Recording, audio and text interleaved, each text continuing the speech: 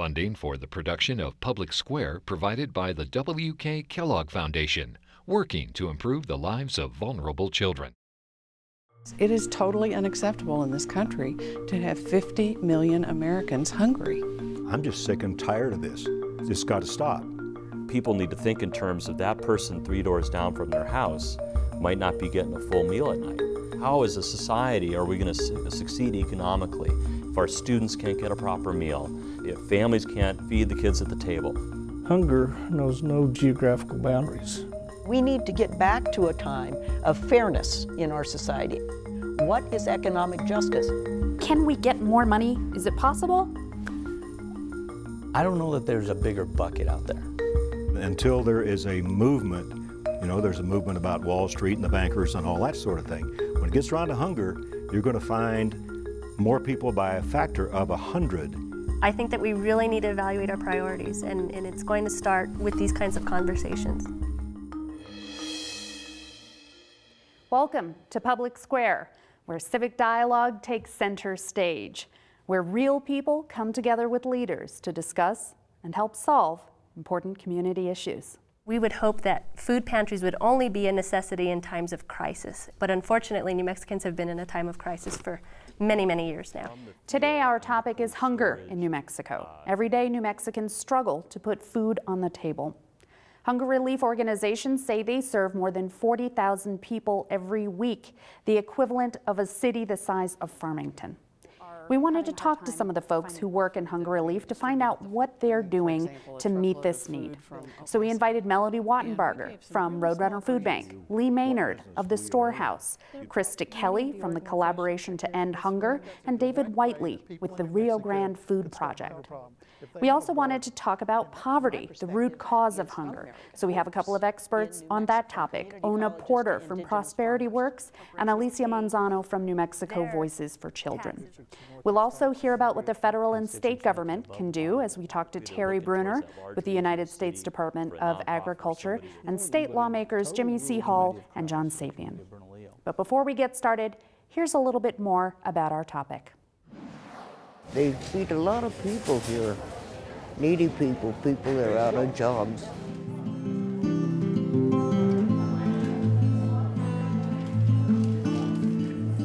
In New Mexico, more than a quarter of households with children say they sometimes don't have enough money to buy food. Some seniors and disabled people say their benefits don't buy enough groceries to last the month. And hunger relief organizations in the state say demand for their help has gone up by as much as 40% as the recession has pushed more to the edge. Many find help at the Storehouse, Albuquerque's largest food pantry. Tuesday through Saturday mornings, the warehouse's doors open to the public, and volunteers help clients select around 60 meals worth of groceries to take home. We went to the Storehouse one recent morning and talked to some of the folks who get help there. I'm a disabled veteran and I got five kids. I have two types of epilepsy from a roadside bomb and nobody wants to hire somebody that takes four types of medications three types a day and has to go to the VA hospital every two or three weeks. We also got a tour from Lee Maynard, the president of the Storehouse. The Storehouse is a 42-year-old nonprofit that does a very simple thing. We give away food by the ton. There's a big need out there. We have 75,000 people registered out here for food service. That's 15% of the population of Albuquerque proper. This would probably cost me a good third of my the check that I get from the Department of Defense, and so it helps out a lot, a whole lot. Our clients are generally considered by the sociologists to be the working poor. By and large, there's one employed person in every family who registers here. They are folks who just are having a hard time. Uh, I work construction, roofing, but right now there's no work, so I just come every now and then when I really don't have money to buy groceries. Uh, I live with six, my wife and my kids. It means a lot. It helps us out for at least two weeks a week. Prototypical family would be a, a fairly young couple, middle 30s, couple of children. One of them is working full time, probably 10 hours a day, minimum wage. They're not making it. Not today, they're not making it. I uh, lost my husband, um, he passed away a year ago, and just on my own, single mother of two girls, just got really tough. I get survivor benefits from my husband passing away, so I make too much to get any help from like food stamps or anything, but not enough to provide enough food every month. So this helps out with being able to bring in a little extra each month. The number of hungry people is directly related to overall economic conditions of the country. Recently, the last two or three years, the folks we see coming in here would be folks that we would not normally see coming in here. Because when the economy gets bad, things get squeezed to the bottom. I lost my job. I lost my unemployment. I've always had a job. I've always been able to take care of my family, and this is the first time I've, I've actually had to look for help. We are open five days a week. We always see an average of 160 families per day. They're always here, nice. Doesn't matter what time of the year you come. I being a handicap and living alone, I'm a happy camper all the time when I come here.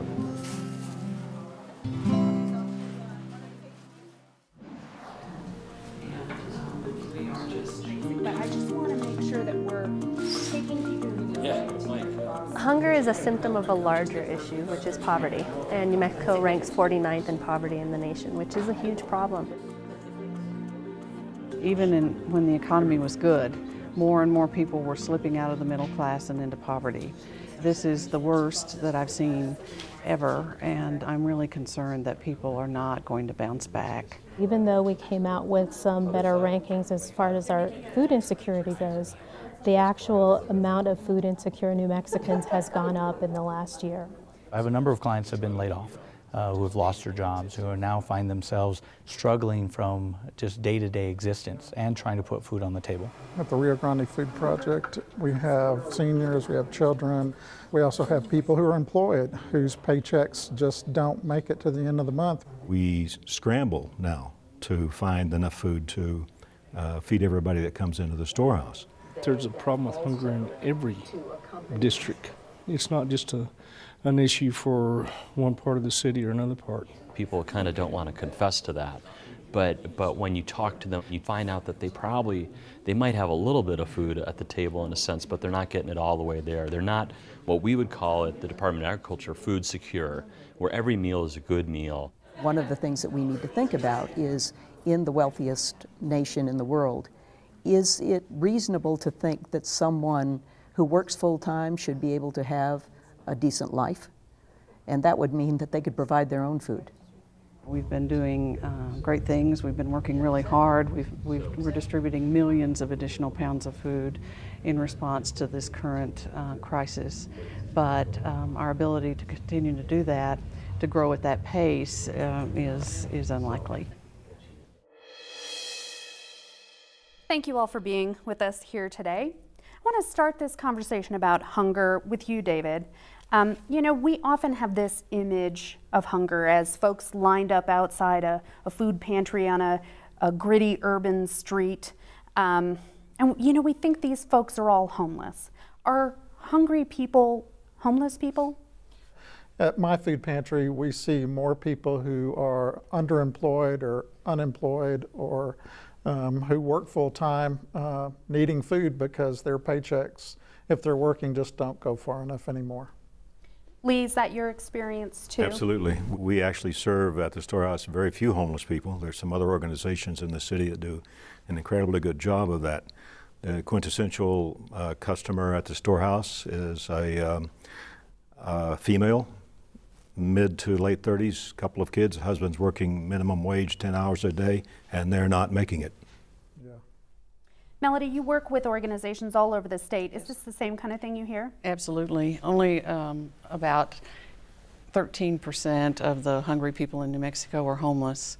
Uh, which means that the vast majority of people are, you know, people who look like everybody else. They they work, they um, struggle to make ends meet. Uh, you know, they have budgets that are impossible. Um, children, uh, nearly half of the people who benefit from food pantries across the, the state are our, are our state's children. And so you work with Roadrunner. How is a food bank different from, you know, what David does? Well, we are, um, we supply our food not to individuals, we supply our food to other organizations. Hundred, hundreds uh, of other organizations across the state get food from us. So we would supply food, uh, part of the food that David's uh, organization needed to feed those families would, would come from us. And it's almost a sort of a business. You guys actually pay for that food, but what does that amount look like that you pay to Roadrunner? Uh, well, last year I think I spent uh, $67,000 uh, at Roadrunner Food Bank. Um, and um, I think it averaged out somewhere between 25 and 30 cents a pound on the average. Some things are cheaper and some things are more expensive. I'll, I'll give you a good example. I just found out that uh, a case of peanut butter, which we used to pay $12 for um, this year and last year, has now gone up to $25 a case. So you guys pay a, a, you know a much lower price than the food oh. would cost through Roadrunner. Yes. But your expenses have gone up at Roadrunner, and that gets passed on. Is that right? 60% of the food that we distribute at the food bank is is totally free. Uh, we we give that away. Um, there are costs, real costs associated with the free food, and uh, for example, fuel. Um, you know, a lot of this food comes into New Mexico. We bring it in from other places in the United States, and um, you know, when I when I first started at Roadrunner, we could bring, for example, a truckload of food from Oklahoma City, uh, which is where a fair amount of it comes from. We could bring it here for a freight bill of um, 20, $250, and that freight bill is now $2,500 once those freight costs go up, or any cost really, once they go up, they stay up. And then, and then of course we have, we're subject to um, things like, you know, peanut crop failure. Well, we have no control over what mm-hmm. happens with the peanut crop, but what it does is, you know, we've been trying to find good prices for peanut butter everywhere in the country. We've been shopping it nationally and we can't find any. Krista, at the collaboration, you work with a lot of these organizations too. What are they telling you they need help with? There, many of the organizations are here in this room um, who we are working with on a daily basis. Many of them need resources. They need resources for outreach. They need resources to buy food. They need resources to actually help their individuals that they're serving access the food as well.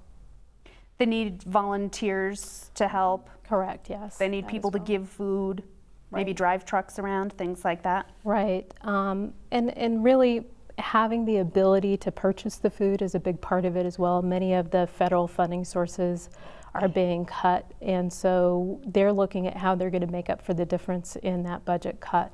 Last year, the Emergency Food and Shelter Program uh, allocated $250,000 uh, to Bernalillo County to help fight hunger, to house people on a temporary basis. Uh, and this year, because the national board experienced a 40% cut in funding at the national level, our county wasn't poor enough to receive any funding. And that affected us, it affected the storehouse, it, I assume it affected y'all directly too. Um, indirectly. Indirectly. And then um, other direct feeding programs in the city that feed people, hot meal programs, places that provide shelter were affected by that loss of funds. So it was a significant hit. For my organization, it accounted for almost a third of my food budget from last year.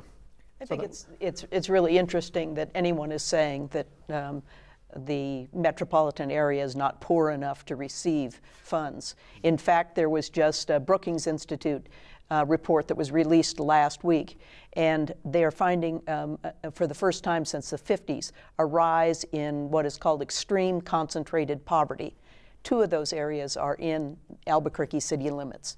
Extreme concentrated poverty means more than 40% of the people are living at 100% or below the poverty line.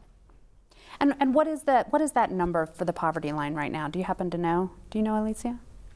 No. It's it's 22,000. 20 for 22,000 for, for a family of four. Right. Yeah. Right. Right. So, you know, some that would apply to some of those families you're talking about. If you have one person working at minimum wage, that's a lot less than 22,000 supporting a family. It's easy to see how that could happen, especially in Albuquerque. Senator Sapien, you told us earlier that um, a lot of your constituents were, you know, are having a hard time finding work. Everybody says, well, we just need to create jobs. Right. What are we supposed to do? Well, and I think since this crisis began some three years ago, I think we're all finding it's very hard just to create jobs. Uh, our larger challenge is um, really how, as New Mexicans, do we uh, create the atmosphere that does bring in um, the industries that will provide good, clean, high paying jobs to New Mexicans? And that does also go back to our educational system. Do we have the workforce that these industries are looking for? Uh, in my daily operation in my business, we've run into clients over the last three years who were your middle class, uh, able to put food on the table uh, households who, because of this crisis, have lost their jobs. And now they're not only coming in to see us to hopefully keep uh, their risks down and keep their insurance, but they're also going across the street to the local Baptist church that has a food giveaway every Tuesday. Uh, and just to uh, iterate or reiterate what some are saying, it's not the homeless. Uh, the people who are coming across the street, and the Baptist Church is very gracious for putting this on every Tuesday, but the people who are uh, showing up for the food, they're not walking up. They're, they are driving up. So it's not your homeless, it is the working poor. And we need, as New Mexicans and policymakers, somehow find that edge where we can increase the available uh, jobs out there, but also the available income so that we're not just working at the local fast food restaurants. We also have our constituents making above the poverty level. My district is Northeast Heights, and I agree with the, the senator is that hunger knows no geographical boundaries, knows no socioeconomical anything. Uh, so it's a, it's a problem that uh, we face here in New Mexico.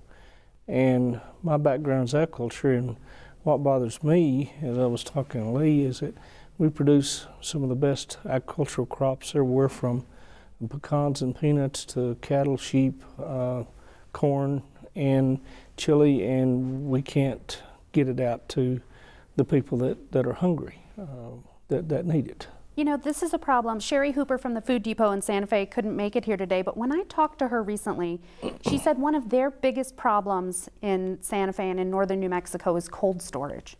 They just don't have enough room to store things that people have given them. And there are growers in northern New Mexico who want to give the Food Depot food, but she's had to turn some of it away.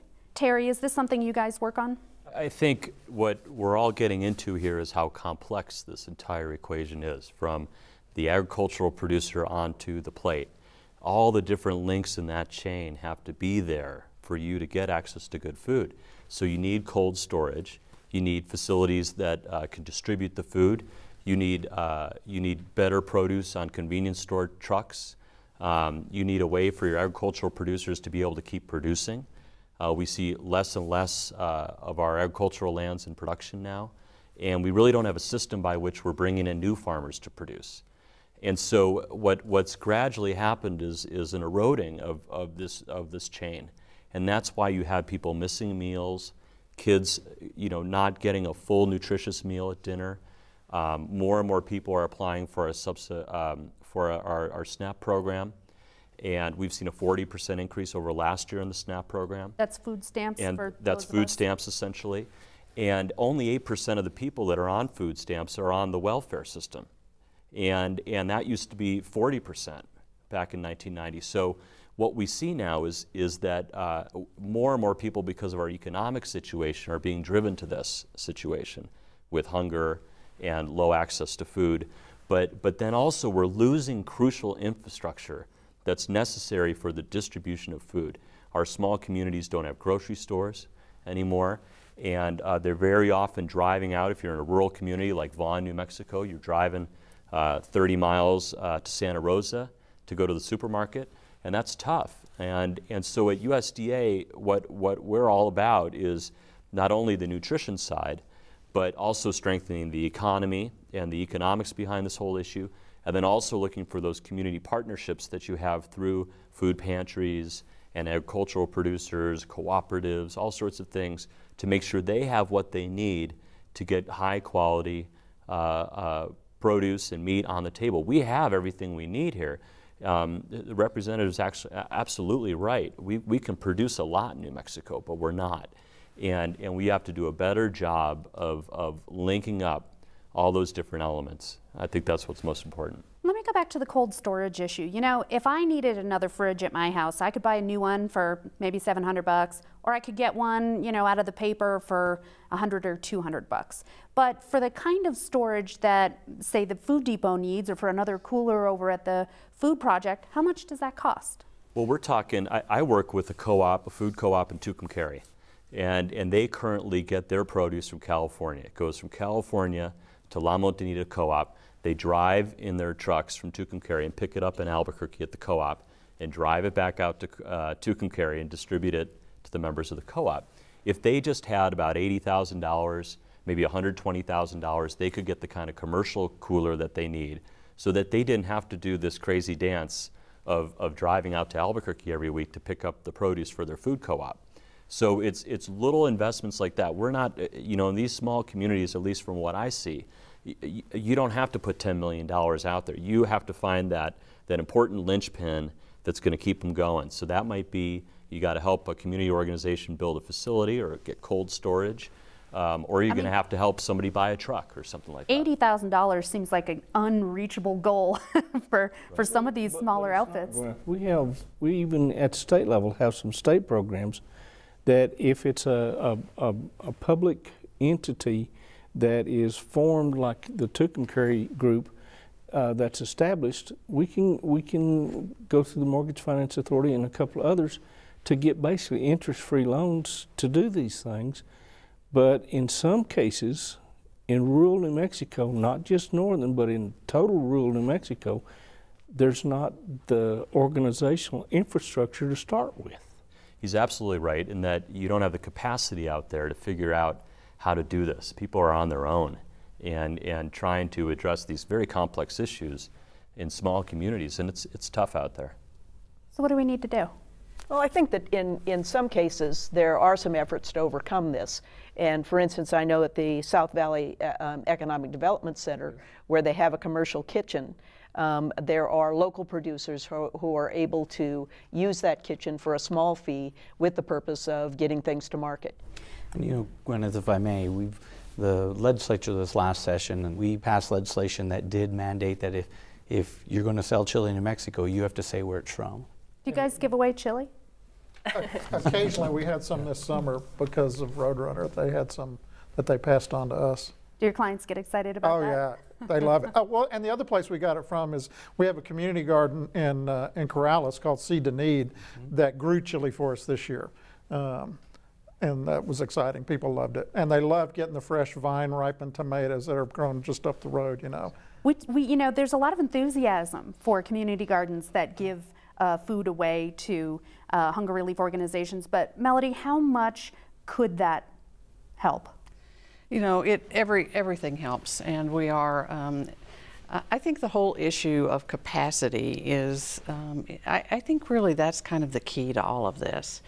Uh, we just have a lack of capacity in our in our state um, that um, that kind of holds us back. Uh, we, we, we don't have um, organization that is, that is consistent across the state. Uh, we have whole communities where they're just, they're just, they don't even talk to each other within those communities. And so I think, um, you know, if we, if we develop some capacity, then I think you'll see things like community gardens growing in lots of communities across the state. We, we actually need, uh, in our biggest year ever, we distributed 10 million pounds of produce and uh, that is uh, that was that was only the beginning of what we could have done. Do you guys have a problem when you get fresh produce donated? Do you have a problem getting it out fast enough before it goes bad? Not really, not anymore. Uh, we we. Uh, uh, we could distribute, I, I really believe, uh, 20 or 30 million pounds of produce if we had it. And um, there is a, a, a great um, uh, need for that in New Mexico because we have so much, we have such a high incidence of, um, of uh, diet-related um, disease and um, poor diet-related disease. And um, so, if we could, if we could really somehow figure out how to have the capacity to ramp up the the distribution of fresh produce, especially out into these rural communities. That would be that would be huge. What's the missing link? Is it Money. someone to? I mean, what do you need the money to do though? We need the money to um, to transport it. We need the money to uh, to to store it. We, you know, the key with produce obviously is rapid distribution. So you can't just bring it in and then and then think about the distribution later. You have to have a, a very rapid distribution system, really to the point. If we were going to do th- distribute 30 million pounds, we would have to be um, what we call cross docking it, which means it would it would have to be going out at the same time it was coming in Right. continuously, and we would we would love to have that problem, um, but uh, it, some of it would come from out of state. There's that freight cost. Um, it really it really is about money.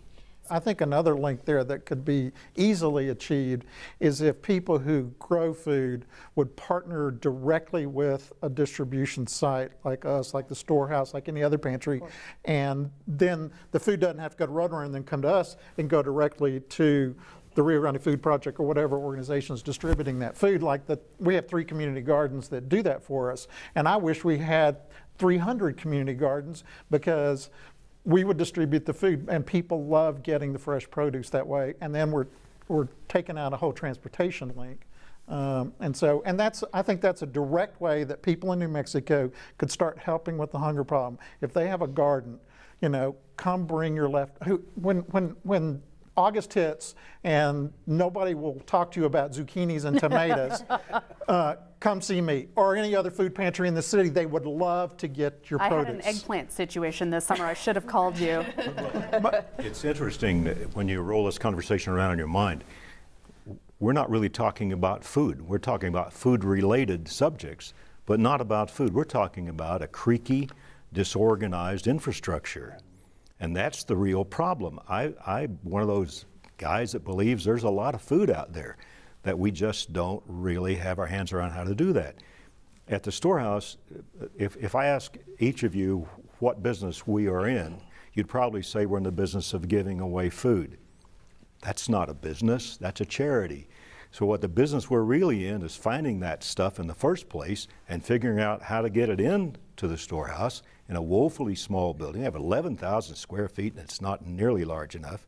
We have one walk in cooler, 12 by 24. That's it. So, it's infrastructure. It's trucks, it's electricity, it's, it's all those things that, that people don't relate to hunger when they give you a basket of tomatoes. So you'd rather have a basket of cash? Absolutely. I if we could. You know, what I wanted to mention, Gwyneth, was thinking about uh, what's being said here is we have a project with the San Juan chapter of the Navajo Nation and, and the farmers up there, and they came to us at USDA because their farmers all on the highway from Farmington to Shiprock were letting uh, produce rot in the fields at the end of the season. Um, because they didn't know how to get it from the field into cold storage, uh, you know, to, to treat it properly so it can be put out for sale or distribution or whatnot. And so we're trying to work with them to teach them how to form an agricultural co-op so they can buy the necessary equipment and, and maybe get some distribution in there, maybe get an office manager who's got the capacity to apply for grants or whatnot. But, but there's food left in the fields, and, and we've got to find a way to, to tackle that problem, and it, and it does take money and capacity building. I mean, in a lot of cases, if you're working with one of our organizations, the state or the feds or nonprofits, you have to fill out grant applications to get money. And we are running into people all the time who say, I don't want to fill out an application or I, or I don't know how to. And I need someone to sit with me and do it. And, and so we've got to, I think, as a community, get behind this idea and help everybody out. I, I was um, amazed by the number of people that are on the SNAP program. I think it's up to more than 400,000 right now in New Mexico, which is a quarter of our population. So people need to think in terms of that person three doors down from their house might not be getting a full meal at night. And, and it's that close to us. And so we have to be active in trying to do something about it. So if there are programs that the state has and there are programs that you have, I mean, could we use volunteers to sit with them and help fill out those grant applications? I mean, if, if there's money available, But there has to be that commitment at the community to sustain it. Um, the infrastructure we have throughout New Mexico is our public schools. But as Lee was saying, if you have cold storage there, and they all do, it's not just a matter of plugging in and make sure the plug's in the wall. Is there a backup? Because when we have severe weather, sometimes that goes out, and you if you don't have that backup, you lose all the food. So it, there has to be that commitment at the community to want to do this. And if you have that, and, and I've worked with ONA, you can do lots of things. One of the things we need to think about are what are the models that work in a rural state? Because there are um, real challenges, as have been pointed out. But in our Assets Consortium, for instance, we have 31 community based organizations.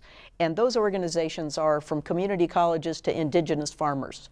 And um, you know, we uh, train and certify family development specialists and finance coaches uh, for those folks and deliver asset products and services to, to uh, hundreds of people, thousands of people across the state. What's an asset product? Well, an asset product, that's a, that's a good question. An asset product is actually something that allows a family to sustain themselves and prepare for the future. Is it a So- basket of cash? It is not, but it is, well, it is and it is not.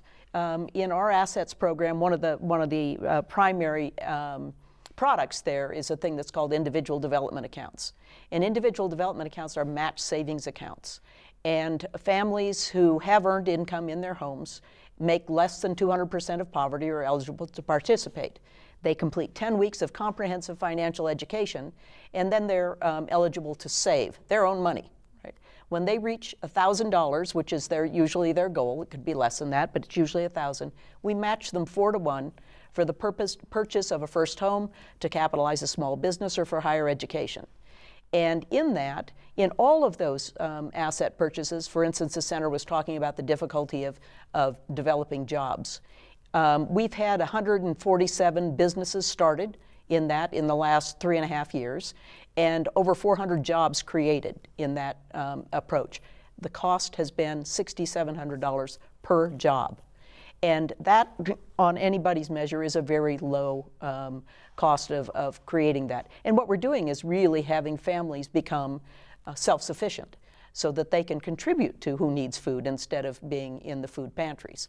But the point of this is that it is a network that works in New Mexico. And it means that we centralize the management, much like Roadrunner does, and that we train and develop capacity at the local level. But the other thing is, we pay them to do the work. Because the best idea in the world is just a good idea if it has no capacity. So, is there an, an existing organization that has the potential to pick up some of these missing links, helping organizations like, say, the co op in Tucumcari go through the process of applying for some of these grants or trying to get the money? Well, there is and there isn't. Um, you know, we lack a lot of that institutional um, kind of network that some states have. You know, if you go to the Midwest, every small town's got a dairy co-op or a grain co-op or something like that. We, we don't have that tradition. We have we have groups out there, but they typically are more centered in the medium to large towns, in, in Roswell and Portales and Las Cruces and Silver City. And, and we don't have a lot of infrastructure in between those areas. So I meet regularly with mayors from towns that have 100 people. And, and they have a mayor and a town clerk, and that's it. And they have a lot of needs. And there's not a uh, nonprofit located in that community. I met with the mayor of Elida not too long ago, and, and they gave me four things they needed. They needed a senior center, and they needed a few other things. And I said, Well, we've got these grants at the federal government. And they said, Well, it's just me and the clerk here. We, we can't manage a bunch of federal grants. And, and so they really need that help, and, and typically they're looking towards that large regional city for a nonprofit or somebody that's going to come to their aid. You know, grants, uh, Gwyneth, are, are another interesting bunch in New Mexico. Historically, they've been around for a long time, and uh, a while ago at the legislature, we allowed them to become municipal subdivisions and create their own infrastructure. Th- There's there's a lot out there, uh, and that that could be available to to be used for a lot of things. And sometimes it's just a small thing um, that helps a community um, get that spark to help itself, and it really has to start locally. the communities themselves have to have, you know, because sustainability has to come from the community. But I was involved with a group several years ago, and we gave some really small grants, for example, to Fort Sumner. But um, a handful of people in Fort Sumner really seized on that money and, and made it work.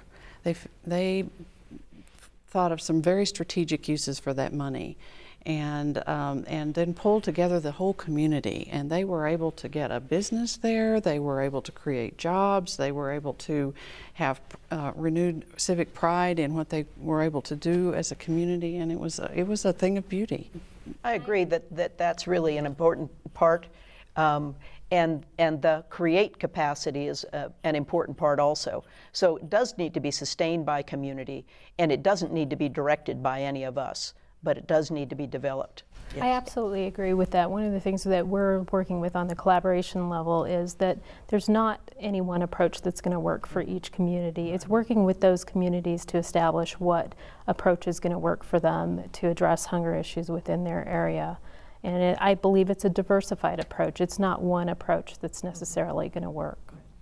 No matter what we do, though, um, in terms of relieving hunger, we're not going to fix it right? I mean, we've all talked about how uh, the problem isn't that they can't get down to the storehouse or the uh, food depot or the food project. The problem is poverty. Right. So, what do we need to do to fix that problem? um, well, Alicia? I just wanted to share hunger is a major symptom of a larger problem, which is poverty and which is um, income inequality. What we need to do is really prioritize our tax and budget system, especially in this state. It's about choices. We can make choices to continue to cut, and we've heard about budget cuts around here. Um, I heard you talking about federal cuts and how it impacts your programs.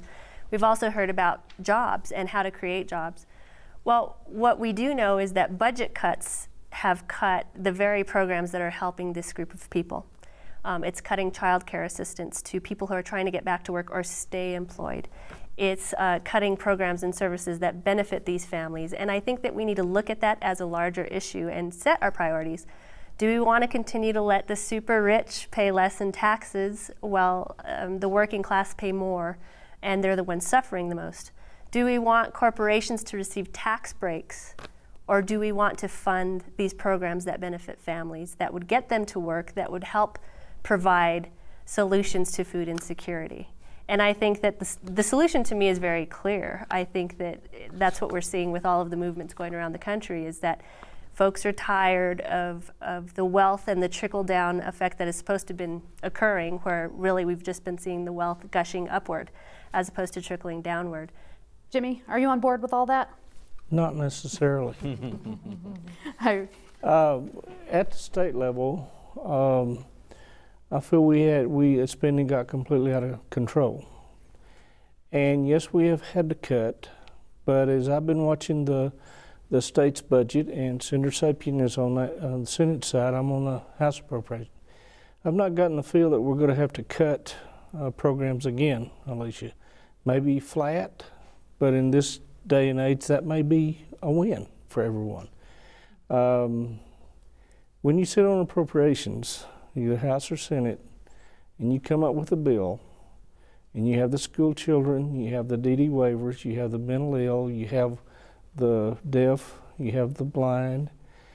Um, there are so many needs out there that just one thing of maybe taxes uh, is not going to do it, nor is, uh, I don't think, uh, uh budget cuts. But the bottom line is to figure out the proper relationship to grow the economy so that we do put more people back to work. And I'm willing to work on that part of it, roll my sleeves up, and get into it because when we grow the economy and we have more people paying taxes at whatever level, then I think that's how we're going to ultimately dig out of the hole that we're in. One of the struggles we've been having with at the LFC, the Legislative Finance Committee, which is our interim budget committee, is prioritization. Uh, and I think one of the challenges we run into, or really, is to look at it from um, it, it's kind of like I do when I talk to my conversation my clients about their budgets. Uh, they're in tons of credit card debt, and they want to get out of it tomorrow. but it took them five years to get in that credit card debt. I think we have to start looking at our challenges as a state, short term and long term. Uh, we can't afford to cut the daycare programs because those are the students that need the most care. Those are the ones that at early childhood we know that that's the biggest impact we can make on the educational system. So we can't cut those programs, but if we don't start prioritizing our money better, then the long term will never take effect. Uh, at the same time, if we do concentrate on a long term approach, prioritizing some of our money now to that early childhood education piece, and I think Alicia is touching on it with the, with the child care side of the game, is that we then, I call it build a better product.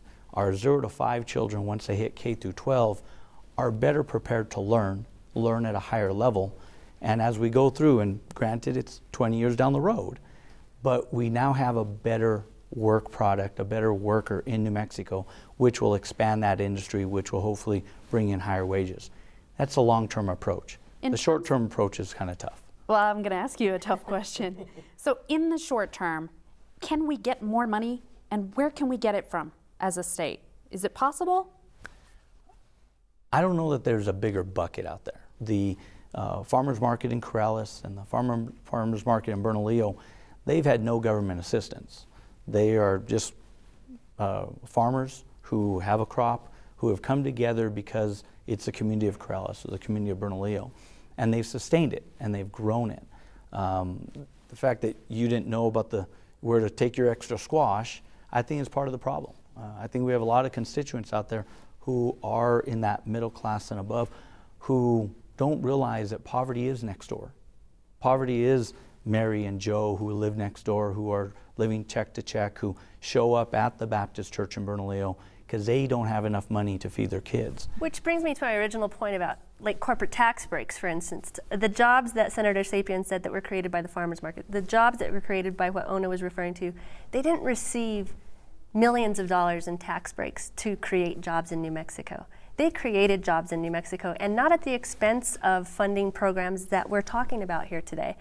I would never want to have to make the choice. That's why I think the legislators are in those positions between funding a DD waiver program and um, something else. But I know that you can make a choice between making, say, out of state corporations pay their taxes on income profits made in our state. It has showed that they are going to continue to be here. We're going to continue to have out of state corporations in New Mexico. They're going to continue to have high profit margins, which we've seen. Uh, profits for some of these companies have grown in the last several years when we're in the Great Recession but yet we continue to make the choice to cut programs and services that benefit children and families. Education, we have larger classrooms, we have fewer teachers. Child care assistance programs have been cut. Some of these food assistance programs have been cut. To me, it's about prioritizing your choices. We do have very clear choices, and I think it's interesting for folks to feel really good. It's really good to donate to these programs, and it happens a lot. I know you know around this time of year to donate to, to food pantries and such we would hope that we wouldn't have that type of need. If we could really get at the infrastructure problem, we would hope that food pantries would only be a necessity in times of crisis. But unfortunately, New Mexicans have been in a time of crisis for many, many years now. I, I mean, I, I, think going back to hunger, I think that as, as the wealthiest nation in the world, are we going to let this situation be acceptable? And the, and the answer as a society is no. And so that's a choice we have to make that we are going to attack this issue and do something about it. And we're not going to want to see the erosion of the safety net, which is helping all these people get through these economic tough times. And that's been the commitment of, of the Obama administration, the USDA, is how do we address it on the short term? But long term, how as a society are we going to su succeed economically if our students can't get a proper meal? Um, if, if, if families can't uh, feed the kids at the table. And these are things that, those are the choices we have to put at the forefront. This, this hunger issue, you know, demonstrates our commitment as a society as to what we want to do about uh, one of the worst issues out there. And we have to solve it. And, and, and Alicia's right in that we have to make the right choices as a group of people. And I think far too often what we've been doing is throwing these choices out to our legislators and saying, you figure it out. But we really, as, as a community, and I, what I'm hearing here today, is, is you know, these small communities, large communities have to get together and address the problem. And they have to be willing to come to the table to do it. It can't be forced upon them, and they can't be made to do it. They've got to they've got to pick themselves up by their bootstraps and attack it because the alternative just isn't acceptable. The bootstraps have to be provided, though. Yes. Yeah. And in New Mexico, you talked about volunteers. I don't think in Elida there are many volunteers. Everybody that's able to work is working, and they're still having a hard time making ends meet. And when we talk about, for instance, the the um, the Corrales um, events that happen every Sunday, fabulous. I go there often, but they are supported by public policy. We decided that we could use our SNAP vouchers at the at the markets, and that was a great um, boon for the markets. It was very important. It was also important for the people who are using that because they had access to fresh food. So all of these things are very interconnected, and yes, there are short-term and long-term answers. But in, in respect to, for instance, the point that Alicia is raising about corporate taxes, you know, not only does it disadvantage our state when large corporations are, um, are operating in our state at no cost to them, but it also disadvantages all our small businesses. They have to compete and they have to pay those taxes. And that is really unfair. And we need to get back to a time of fairness in our society and think about that as the filter for decision making. What is economic justice? And as Terry's saying, are we really going to allow the wealth gap in America to be 97th in the world behind such countries as China and Iran? That, from my perspective, that is un-American. Furthermore, the income inequality in our state, we have the highest number of millionaires in Los Alamos, and then we're hearing about the huge food insecurity problem we're having in the rest of the state. I think that we really need to evaluate our priorities, and, and it's going to start with these kinds of conversations. Lee, you know, I'm thinking, what do you hear from your clients? What do they need? I mean, they probably aren't saying to you, I'd really like to see uh, Walmart pay taxes on the profits it earns here instead of uh, calculating its profits. Uh, you know, I'm sure that's not what they say. What do they want? They want food. They want food and they need jobs. And we can, we can bandy these things around like tennis balls until we're just weary. But Alicia used a, a word a minute ago that we have been bandying about at the storehouse called movement. And until there is a movement, when the people say, I'm just sick and tired of this, it's, it's, it's got to stop. And that will happen sooner or later. They just haven't settled, they've settled on economics. You know, there's a movement about Wall Street and the bankers and all that sort of thing. When it gets around to hunger, you're going to find more people by a factor of 100 involved in that. And until that happens, we might just keep on talking. I think one of the things that was brought up earlier that is extremely important is that we're not only looking at existing sources, but looking at ways that we can leverage those sources that are there. There are billions of pounds of food being thrown mm-hmm. away every day in America. And many of the organizations sitting right here are doing food recovery. And they are going out into local supermarkets, public schools, restaurants, and hotels and recovering food that is existing and already there, and all, also in agricultural production. How can we look at building that structure to support organizations in feeding people the food that is already there? If we take government out of play, uh, Americans will come to the aid of each other. We just have to educate them on how they can be helpful. And it's not always by the dollar, it's by finding those resources that are already in existence and bringing them together. It's just phenomenal how you guys can run these organizations on a shoestring budget. But if we concentrate on the ground level on our communities, educating the people who have to be able to say, if you do have that extra squash or that extra uh, uh, produce, how do we get it in the hands of the people that are helping the people with most need? Um, the question of money is always going to be there. And there are 50 million Americans hungry. 50 million. Um, that is, you know, if we had a disease that affected 50 million Americans, and it caused the kinds of symptoms that hunger causes and the kind of long-term uh, detriment to human beings that hunger causes, there would be a huge public outcry saying, let's, let's put an end to this. We can't have 50 million Americans with this disease, but we have it, and we are not hearing that outcry. And that's, eh, we have to.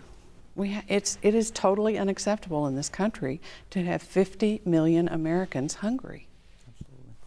Well, the one thing we can do is, is educate folks who are watching today about what we're doing here in New Mexico. And I want to thank all of you for coming in and sharing your stories with us and with our viewers. Thank you. Thank you. That's what I'm getting we at. keep It's talking not about it, but, but trust me, I tell you. Being part of this conversation is always important. And I think the thing that is most important to understand is that the answers are complex, but they're within our reach. If your neighbor can't afford to put food on the table, we should all know about that. And I think that's the key, is making sure everybody knows that hunger is alive and well. And that's a travesty in this day and age. 50 million people hungry. We had seven people, eight people die from a melon thing, and the country went nuts. Now, I'm, don't, please don't get me wrong. People died, but people are dying in this country every day from malnutrition. In this state, we provide about $5 million a year that goes towards that food assistance. We know where these food banks are, and we probably could do a better job of connecting people with that. I don't know if it's through the internet or what it might be, but I, I think there is something there that we could be doing. What the conversation today will do come the legislative session is definitely drive me to protect those programs that help the neediest. Policymakers need to be um, both informed and pressured to do the right thing. And we need to address our tax structure. People don't want to do that, but the truth is we can't continue to have, you know, 300% increase in CEO uh, salaries while workers get a 4% increase in the same period of time. That creates poverty.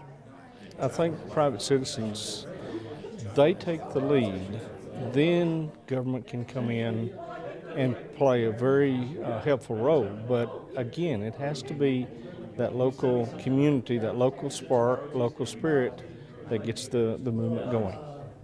I think one great thing people could do is partner with their local community organizations, communicate with your agencies that are addressing hunger, and engage yourself in that. It always comes down to food and money. The food is already here.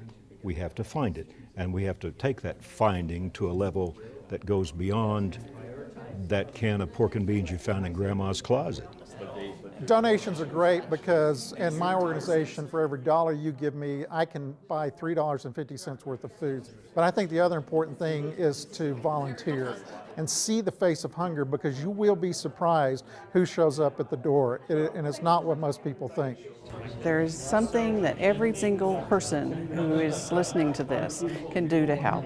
I know as a people that we care about each other and that we have to rise up together. And uh, there's no other way to think about it than that we need to help each other. And this is the way to do it. Let's get involved, let's help each other, and let's make this community great. Join us for Public Square on the last Thursday of every month. Our December show will be about childhood obesity.